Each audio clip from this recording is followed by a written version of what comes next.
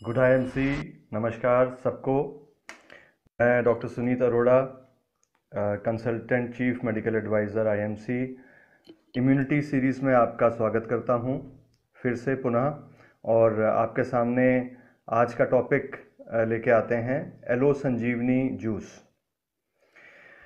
तो एलो संजीवनी जूस के बारे में हम लोग आज जानेंगे, और इसके क्या घटक हैं और एक एक घटक क्या काम करता है और ओवरऑल ये जूस किस लिए हम देते हैं और कैसे इसको दिया जाए किस उम्र में कितनी आ, मात्रा में कैसे दिया जाए। Good I M C Anita ji Adil ji.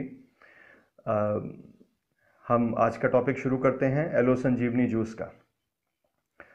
तो एलो संजीवनी जूस आप सबने देखा परखा प्रयोग भी किया है और लोगों को पिलाया भी है और ख़ुद भी पिया है। और इसका स्वाद तो आप जानते हैं और इसका असर भी आपने देखा। और कुछ जो आयुर्वेद का इसका बेस है कि ये कैसे बना, क्यों बना, ये मैं आपके साथ साझा करता हूँ। तो इसका प्रयोग पहले समझें कि एलो संजीवनी जूस कहाँ कहाँ प्रयोग होता है और क्या क्या करता है शरीर में। तो ये एक संपूर्ण शरीर को ठीक करने वाली चीज़ है और उसके साथ में सभी प्रणालियों को मज़बूत करता है। शरीर की प्रणाली मतलब कि जितने भी सिस्टम हैं, जितने ऑर्गन्स हैं, जितने दोष हैं, उनको ठीक करता है। और इसका एक मेन कार्य जो है, वो दर्द और सूजन घटाना भी है। और ये बहुत उत्तम एंटीऑक्सीडेंट है। एंटीऑक्सीडेंट अब तक हम सब लोग जान चुके हैं। और एंटीऑक्सीडेंट के नाते ये फ्री रेडिकल्स कम करता है और हमारे शरीर में अच्छे सेल्स का पुनरुत्थान अच्छे सेल्स का बढ़ना जल्दी करता है। और ये एंटीऑक्सीडेंट्स होने के साथ साथ एक बहुत उत्तम डिटॉक्स है। डिटॉक्स वर्ड जो आजकल बहुत चल रहा है वो बना है डिटॉक्सिफिकेशन से। डिटॉक्सिफिकेशन का आ, मतलब है कि विषैले पदार्थ जो शरीर में एकत्र हो जाते हैं उनका शरीर से बाहर निकलना। एक तो साधारण मल मल क्रिया होती है जिससे वो बाहर निकलते हैं। दूसरा, आयुर्वेद में कुछ ऐसी औषधियाँ होती हैं जिनसे कि उनको सेल से, सेल जो हमारे सेल हैं, सेल्स में से भी विषैले पदार्थ हम पेट में ला के उसको बाहर निकाल सकते हैं। तो उसको हम डिटॉक्स कहते हैं। और, आयुर्वेद के वैद्य के पास आप जाएँ या आयुर्वेद के हॉस्पिटल में जाएँ तो वहाँ पे वो पंचकर्म करने की बात करते हैं। तो पंचकर्म अपने आप में एक डिटॉक्स की विधि है, जिससे शरीर डिटॉक्स किया जाता है। और विषाले पदार्थ बाहर निकाले जाते हैं, जिससे शरीर वापस शुद्ध होता है, अच्छे सेल्स बनते हैं।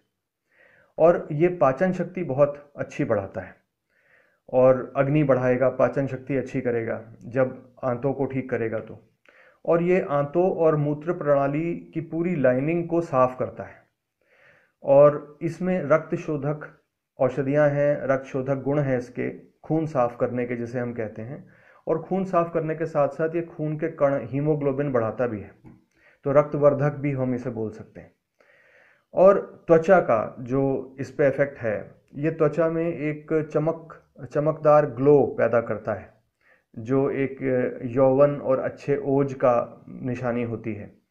और बाल भी अच्छे होते हैं, क्योंकि बालों का त्वचा के साथ जुड़ाव है और बाल त्वचा के अंग हैं।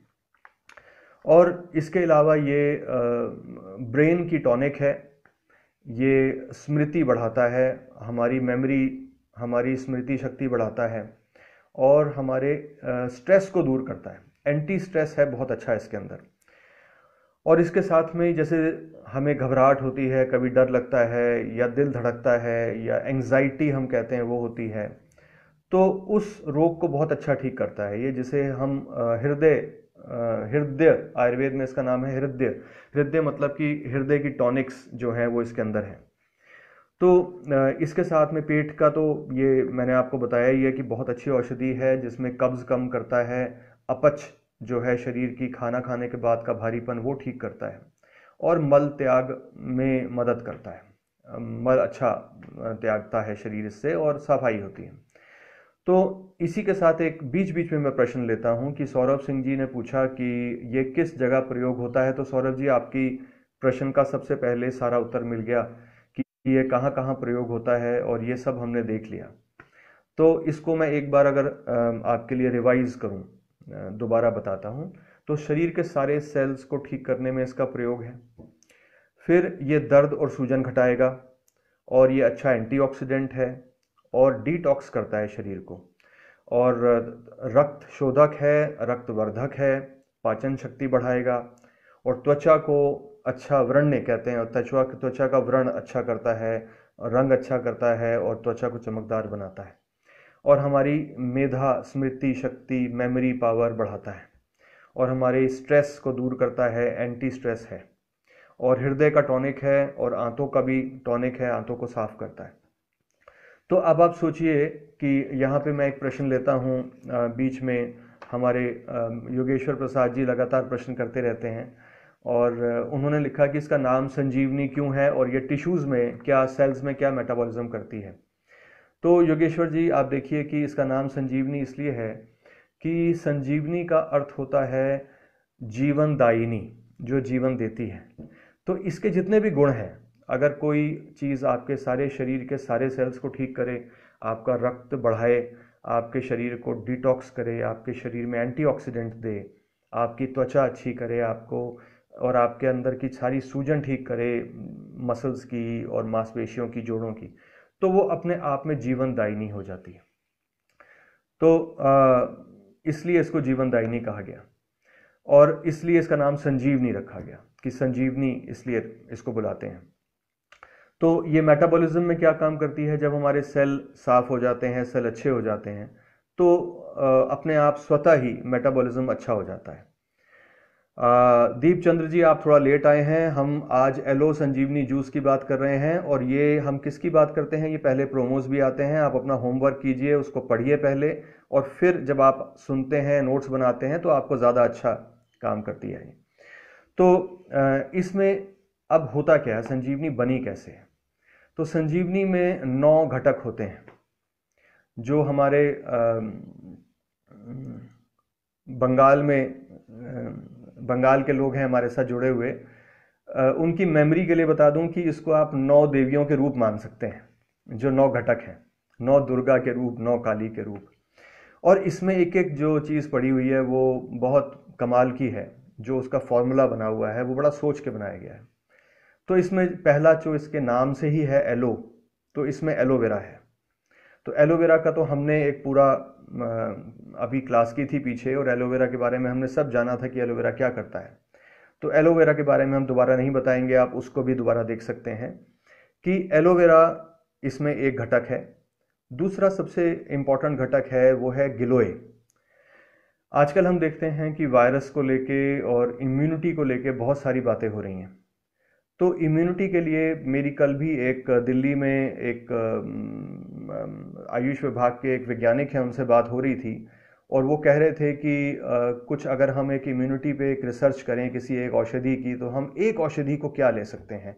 तो हम कुछ लोगों का सबका ये मानना था कॉमन कि गिलोय से बढ़िया औषधि कोई नहीं है। इम्यूनिटी को बढ़ाने में और सूजन घटाने में और रोगों से, बुखार से लड़ने में और एंटीवायरल के रूप में भी। तो इसलिए गिलोय का जो काम है, हम लोग देखते हैं कि गिलोय का काढ़ा हम बना के पीते हैं, चाहे डेंगू हो हम तब भी डेंगू, उसको डेंगी बोलते हैं एक्चुअली तो जो हम डेंगू बोलते हैं वो डेंगी। डेंगी में हम डॉक्टर्स बहुत बोलते हैं कि गिलोय का काढ़ा बना के पीजिए। और अब तो आम घरों में इतनी बात हो चुकी है कि जहाँ ज़रा सा भी वायरल होता है तो लोग गिलोय का काढ़ा पीना शुरू कर देते हैं। तो इस बार देखिए कि अगले पिछले एक दो साल से जब से गिलोय के काढ़े का प्रचलन आया है, गिलोय के जूस लोगों ने पीने शुरू किए, गिलोय के काढ़े पीने शुरू किए, उससे वायरल्स बहुत कम होने शुरू हो गए। और इस बार तो देखिए जब मौसम बदला तो आप सब घर में हैं अच्छा भोजन ले रहे हैं और इम्यूनिटी आपकी सबकी अच्छी है, बाहर का खाना नहीं खा रहे असात में आहार, गलत आहार नहीं जा रहा और गिलोई वगैरह आपकी ये सब हमारी प्रोडक्ट्स में हैं। तो इससे हमारी सबकी इम्यूनिटी बढ़िया है। और हमें रोग नहीं हो रहे। जो है वो अखबारों में न्यूज़ में दिख रहा है, लेकिन अमूमन आप देखिए कि लोग बड़े अच्छे हेल्दी हैं। तो एक पॉजिटिव साइड है इसकी। तो गिलोय जिसको टाइनोस्पोरा कहते हैं, ये बहुत बड़ा घटक है इसका, और गिलोय होने की वजह से ये रक्तशोधक है, ये पित्त शामक है। शरीर में जब पित्त बढ़ता है, ज्वर के रूप में बुखार होता है, जलन होती है, हाथ पैरों में जलन होती है तो उसमें गिलोय बहुत अच्छा काम करता है। और जब कभी बुखार आए या बच्चों को जल्दी खांसी ज़ुकाम वगैरह हो तो बड़ों को भी कई होते हैं जिसमें नाक बहती रहती है और छींकें आती हैं, इस चेंजिंग मौसम में सीजनल एलर्जी कहते हैं। उसमें गिलोय अच्छा काम करता है। तो गिलोय के सब फ़ायदे हैं यूज़ हैं। फिर एक और घटक है इसका, जिसको हम त्रिफला कहते हैं। तो त्रिफला जो है वो आयुर्वेद का, हम कह सकते हैं कि पहला फॉर्मूला है। आयुर्वेद में बहुत सारे फॉर्मूले हैं, जो कि कमाल की औषधियाँ हैं, जो अभी तक भी ये कह, कहा जाता है कि हम लोग पीछे एक वैद्य समुदाय में, हम लोग एक कॉन्फ्रेंस में थे तो एक बहुत नामी वैद्य ने खड़े होके स्टेज पर बोला था कि आयुर्वेद में जितना फॉर्मूला हमें आचार्य चरक और सुश्रुत दे गए, हम अभी तक उसका 30 परसेंट भी प्रयोग नहीं कर पाए पूरा। और अमूमन 10 20 10 से 20 परसेंट हम लोग उसका प्रयोग करते हैं। तो सोचिए कि कितनी बड़ा खजाना हमारे पास अभी भी पड़ा हुआ है। और त्रिफला जिसे हम कहते हैं तो वो तीन चीज़ों से बनता है। हरड़ बहेड़ा और आंवला। और इसका जो फॉर्मूला है, ये अपने आप में बड़े कमाल की चीज़ है। आप देखिए कि आंवला जो होता है, वो सारे शरीर की जो खून का संचार है सर्कुलेशन है, उसको ठीक करता है, उसकी इम्यूनिटी बढ़ाता है। तो हमारी जितनी नाड़ियाँ खून की हैं, उनको मज़बूत करता है, उसकी इम्यूनिटी बढ़ाता है। खांसी ज़ुकाम से हमें हेल्प करता है लड़ने में। और जो हरड़ है, हरड़ नीचे का जो पेट है, आप समझिए ना, बड़ी आंत, उसकी महा औषधि है। और जब ये वहाँ से मल त्याग अच्छा होता है और आपका पेट साफ़ होता है, आपको एक डिटॉक्स करता है हरड़। और उसके साथ में खून भी साफ़ करता है और आपके बहुत सारे रोग ठीक करता है। इसको हम लोगों ने रसायन भी बोला, आंवला की, आंवला को भी रसायन बोला हरड़ को भी रसायन बोला। और दूसरा है बहेड़ा, तीसरा। तो बहेड़ा जो होता है, इसका मुख्य काम हमारे फेफड़ों को ताकत देना और हमारी श्वास प्रणाली को ताकत देने का होता है। तो आप देखिए कि आंवले से तो हमारा सारा शरीर का, खून का दौरान ठीक हुआ। बहेड़े से हमारा श्वास प्रणाली फेफड़े और श्वास प्रणाली ठीक हुआ और हरड़ से हमारी आंतें ठीक हुई। तो ये तीनों वात, पित्त और कफ तीनों को ठीक करने वाले हैं और त्रिदोष हर हैं। इसलिए इनको त्रिफला को भी परम रसायन बताया गया। तो अब त्रिफला अपने आप में एक बहुत अच्छा डिटॉक्स भी है, एक एंटीऑक्सीडेंट भी है, पाचन शक्ति भी बढ़ाएगा और आपका टॉनिक भी है। और जिनका वज़न भी बढ़ा हुआ है, वो लगातार लेने से, उनका त्रिफला लेने से, उनका कहीं भी जिसमें त्रिफला और गिलोय होता है, एलोवेरा होता है, उससे हल्के हल्के उसकी चर्बी घट जाती है, जो एक्स्ट्रा चर्बी होती है। ऐसा नहीं कि पतले लोग और पतले हो जाएँगे, लेकिन जो ज़्यादा चर्बी हमें, हमने इकट्ठी की है, बड़ी मेहनत से आलू की टिक्कियाँ और कचौड़ियाँ खा खा के, वो कम हो जाती है। और एक इसमें और घटक है, ये हमारे तीन और दो पाँच घटक पूरे हो गए, एलोवेरा, गिलोय और हरड़ बहिड़ा आंवला। फिर छठा घटक है इसमें वीट ग्रास वीट ग्रास होता है जब गेहूँ के ज्वारे निकलते हैं तो उन ज्वारों में बहुत सारे मिनरल्स बहुत सारा क्लोरोफिल तत्व होता है तो उन ज्वारों का जूस बनाया जाता है वीट ग्रास जूस जिसे कहते हैं। तो जो वीट ग्रास है वो उसको हम लोग उसको विदेश में यूएसए में उसको ग्रीन ब्लड बोलते हैं, हरा खून। हरा खून ग्रीन ब्लड इसलिए बोला जाता है कि वो खून में पूरी अच्छा रक्त शोधक सफ़ाई कर कर और खून की मात्रा बढ़ाता है, यानी कि खून में हीमोग्लोबिन बढ़ाता है, आपके रेड सेल अच्छे करता है। और इसलिए वहाँ पे विदेश में इसका बहुत प्रचलन वीट ग्रास का कैंसर के रोगियों को दिया जाता है ये। और थैलेसीमिया के रोगियों को जिनका खून नहीं बनता या लगातार इनको एनीमिया रहता है, उनमें वीट ग्रास काफ़ी दिया जाता है। तो वीट ग्रास का एक इसमें प्रयोग है जो खून साफ़ करके रक्त कण बढ़ाएगा, खून बढ़ाएगा। फिर इस सातवां जो इसमें घटक है, वो अश्वगंधा है।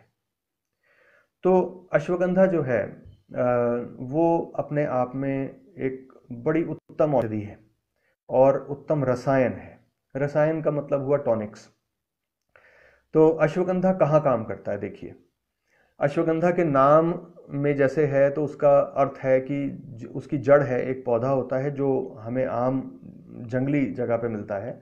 उसकी जड़ जो होती है मोटी सफ़ेद, जब हम उसको घिसते हैं तो उसमें घोड़े की गंध सी आती है। जैसे हम घोड़े के अस्तबल में जाएँ तो एक घोड़ों की गंध होती है।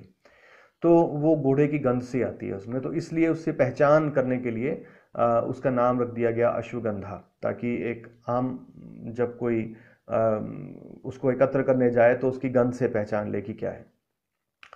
तो उसकी जड़ जो है वो प्रयोग होती है। जड़ में नेचुरल प्राकृतिक स्टेरॉयड होते हैं, जिसको स्टेरोल बोलते हैं। उनका काम क्या होता है कि वो हमारे शरीर में जितना सेल कमज़ोर है, उसको मज़बूत करता है। ख़ास तौर से मांसपेशियों के सेल्स को अच्छा करता है। तो जहाँ पे मांसपेशियाँ कमज़ोर हैं, जैसे कि हमने कहा कि किसी बीमारी से कोई व्यक्ति उठा और उसकी कमज़ोरी है, मांसपेशियों की वो उठ के चल फिर नहीं पा रहा ज़्यादा तो उसमें अश्वगंधा बहुत अच्छा काम करता है। जो हमारे युवा पीढ़ी है, युवा बच्चे हैं, जो जिम जाते हैं और बॉडी बनाते हैं और मसल्स बनाने में इच्छुक होते हैं और जिम में जाके वो कुछ ना कुछ वहाँ का केमिकल्स प्रोटीन वगैरह खाते हैं जो नुकसान करता है। उसकी जगह अश्वगंधा और हमारा देखिए जो हमारा प्रोटीन पाउडर भी है, उसमें भी अश्वगंधा मिला हुआ है। तो अश्वगंधा का प्रयोग यही है कि वो हमें ताकत देता है। हमारी मसल्स को, हमारी मांसपेशियों को ताकत देगा। और एक और अश्वगंधा का प्रयोग बहुत अच्छा है जो इम्यूनिटी बढ़ाता है। अश्वगंधा इम्यूनिटी बढ़ाएगा और हमारे रो, हमारी रोगों से लड़ने में खास तौर से जो खांसी जुकाम और श्वास के रोग हैं, जैसे कि दक्षिण भारत के वैद्य जो हैं, वो अश्वगंधा को सांस के रोगों में, श्वास, दमे के रोग में बहुत देते हैं, बहुत प्रयोग करते हैं। तो वो वहाँ पे दमे में इसकी, दमे के रूप में इसकी औषधि प्रयोग ज़्यादा है। तो इसलिए अश्वगंधा का प्रयोग जगह है, आप देखें, मसल्स को बढ़ाना, मांस, मांसपेशियों को ताकत देना, शरीर को ताकत देना और बुढ़ापे को रोकना और उसके साथ में श्वास आपकी फेफड़ों को ताकत देना, ये सब चीज़ों का अश्वगंधा का प्रयोग है। फिर इसमें दो और बहुत कमाल की चीज़ें हैं, जिससे ये कंप्लीट होता है, जिसे हम संजीवनी कहते हैं। एक है अर्जुन। अर्जुन का पेड़ हम देखते हैं, लगा होता है सड़कों के किनारे, खेतों के किनारे, खेतों में। तो अर्जुन का वृक्ष जो है, उसकी छाल का इस्तेमाल होता है। और अर्जुन की छाल जो है, ये ऋषि मुनियों ने पहले देखा कि ये बहुत उत्तम हृदय टॉनिक है हार्ट की टॉनिक है। तो जो इसकी छाल जो है अशोक अर्जुन की, इसको आयुर्वेद में दूध में उबाल के पिलाया जाता है और इसको हृदय रोगियों को दिया जाता है जिनका हृदय कमज़ोर होता है, उनके हृदय को ताकत देने के लिए। लेकिन जिनको हृदय रोग नहीं है जो बिल्कुल स्वस्थ हैं, उनको अर्जुन की क्या ज़रूरत है? तो अर्जुन क्या करता है कि हृदय को बल देता है। जैसे कि अगर आपकी आयु 40 साल की है तो आपका हृदय भी तो 40 साल का है तो 20 साल का नहीं है, और आगे आने वाले समय में हृदय पचास साल का होने वाला है, बीस का नहीं होने वाला। तो हृदय एक ऐसी पंप है जो लगातार 24 घंटे आपके एक सेवक की तरह बिना आराम किए, एक सेकंड का आराम किए, आपकी ड्यूटी आपकी सेवा करता रहता है, धड़कता रहता है, वो ब्लड पंप करता रहता है। तो उसकी ताकत के लिए, उसकी अपनी मांसपेशियों की ताकत और खून की नाड़ियों की ताकत के लिए अर्जुन बहुत अच्छी औषधि है। और दूसरा अर्जुन का एक और प्रयोग है, जो हृदय के अलावा आयुर्वेद में इस्तेमाल होता है, जहाँ पे हड्डियों की कमज़ोरी है, जिसे हम ऑस्टियोपोरोसिस कहते हैं कि हड्डियाँ कमज़ोर हो गई और बुढ़ापे में उसमें जल्दी हड्डी टूट जाती हैं, या किसी का कैल्शियम और विटामिन डी कम हो गया और हड्डियाँ कमज़ोर हो गई तो उसमें अर्जुन जो है वो हड्डियों को मज़बूत करेगा, हड्डियों में ताकत देगा और हड्डियों में, हड्डियों का भारीपन बढ़ाएगा। तो ऑस्टियोपोरोसिस को ठीक करता है अर्जुन। जो इसे नौवा तत्व है, वो है ब्राह्मी। ब्राह्मी जो है वो सबसे बड़ा मेद्य रसायन है, वो ब्रेन टॉनिक है। तो जहाँ पे मेमोरी की प्रॉब्लम है, चाहे बच्चों में, बड़ों में बड़ों में ज़्यादा जो स्ट्रेस की वजह से मेमोरी का इफ़ेक्ट आता है, उसमें ब्राह्मी बहुत अच्छा काम करता है। और स्ट्रेस दूर करने में भी अश्वगंधा और ब्राह्मी मिल के बहुत बढ़िया, बहुत उत्तम है, जहाँ पे हमें स्ट्रेस हो या तनाव रहता है, जिसको ज़्यादा सोचने की आदत है, जिसकी, जिसका दिमाग का काम ज़्यादा है, उनमें अश्वगंधा और ब्राह्मी एक उत्तम रसायन माने जाते हैं। और ब्राह्मी का एक और प्रयोग है कि ब्राह्मी को ब्रेन टॉनिक की जगह, जैसे हम लोग उम्र में, एजिंग में कंपवात होता है और उसके साथ में जैसे बुढ़ापे में हाथ पैर थोड़े से ब्रेन वीक हो जाता है, मेमोरी वीक हो जाती है और एल्जाइमर्स की प्रॉब्लम इस तरह की आती हैं। तो अश्वगंधा, ब्राह्मी और ये सब चीज़ें लेने से लगातार हमारा ब्रेन एजिंग पे नहीं जाता और प्रिवेंशन रहती है, उसका रोकथाम रहती है।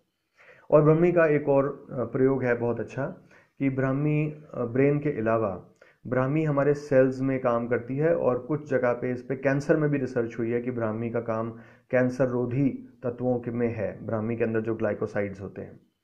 तो एक बार मैं इन नौ औषधियों को दोबारा आपके लिए रिपीट करता हूँ, दोबारा रिवाइज करता हूँ। एक है एलोवेरा जो इसके नाम में भी है।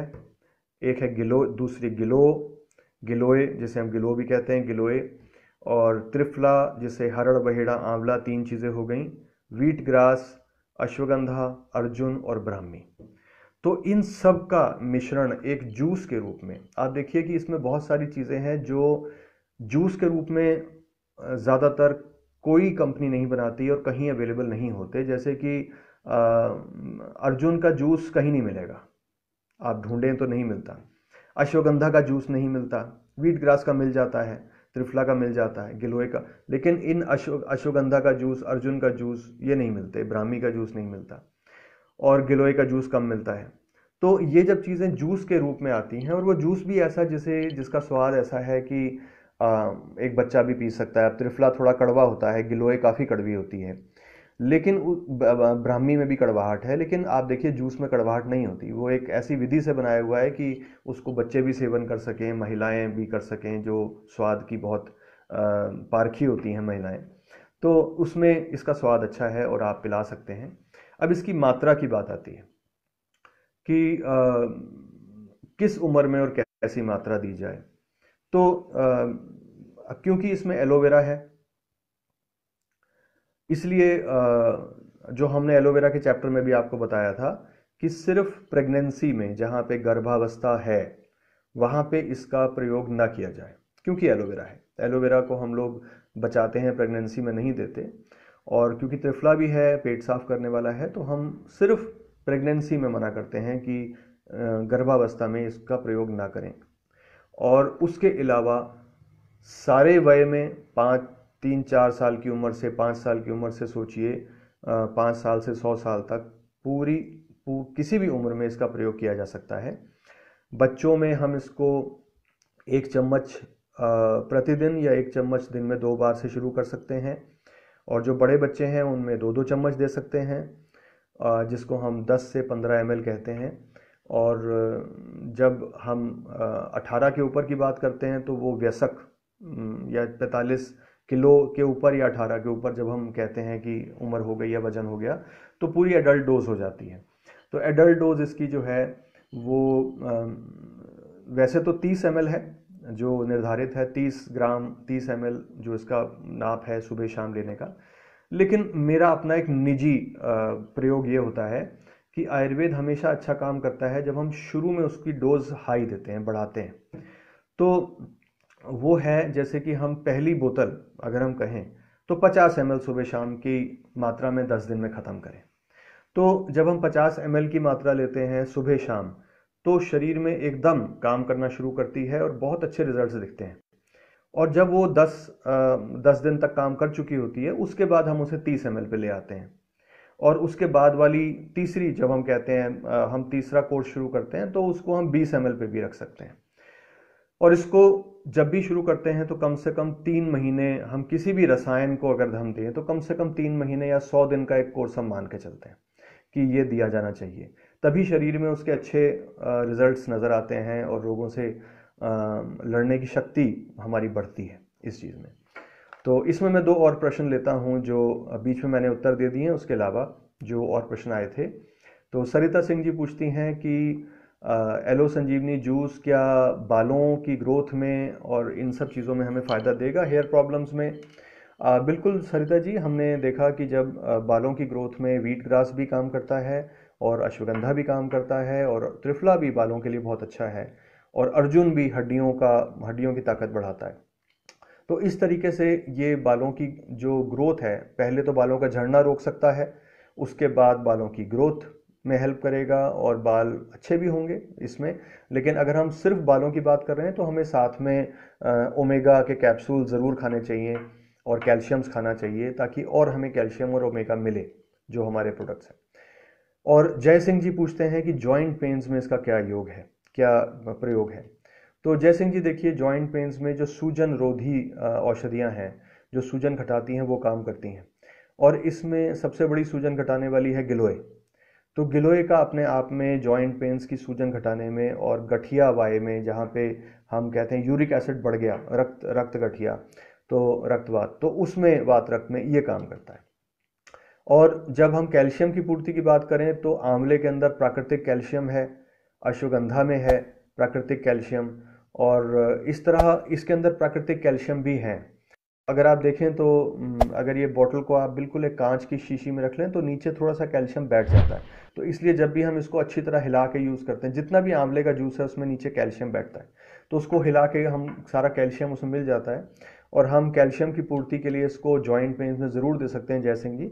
लेकिन अगर हमें दिखता है कि कैल्शियम की कमी है जॉइंट्स के साथ तो हम अपना जो बाकी कैल्शियम का सप्लीमेंट है, वो भी ज़रूर दें और उसके साथ में ओमेगा और जॉइंट के जो और प्रॉब्लम की है, वो भी साथ में तो उसके साथ में ये संजीवनी हर तरह की रोग में काम करेगा और आपने कोई भी और गोली या कैप्सूल अगर आप सप्लीमेंट के रूप में ले रहे हैं, उसके साथ में ये एक कंप्लीट जूस है। अर्चना जी पूछ रही हैं कि सोरियासिस में दे सकते हैं बिल्कुल दे सकते हैं क्योंकि सोरियासिस में हम रक्त शोधन की बात करते हैं तो गिलोय त्रिफला ये दोनों सोरियासिस में काम करते हैं और ब्राह्मी भी सोरियासिस में रिसर्च है कि काम कर रहा है एलोवेरा भी बहुत अच्छा काम करता है तो सोरियासिस की जो भी औषधि हैं उनके साथ में हम इनको मिला के देख सकते हैं। तो ये आज का आ, हमारा छठा लेसन था एलो संजीवनी जूस के बारे में और आ, आपसे परसों दोबारा मुलाकात होगी। नए टॉपिक पे आप टॉपिक देखते रहिए जो आपका आएगा और उस टॉपिक के साथ थोड़ा सा पहले पढ़ लेंगे उसके बारे में तो आप मेरे साथ जुड़ने में आपको बहुत मज़ा आएगा और उसके बाद एक बार दोबारा पढ़ लीजिए। और उसको तीन बार जब आप एक टॉपिक पढ़ लेंगे तो उस पर आपकी मास्टरी हो जाएगी और आपको दोबारा नहीं पढ़ना पड़ेगा। तो आप सबका बहुत बहुत धन्यवाद और मैं डॉक्टर सुनीत अरोड़ा आपका धन्यवाद करता हूँ सुनने के लिए। और साथ में जुड़े रहने के लिए good I M C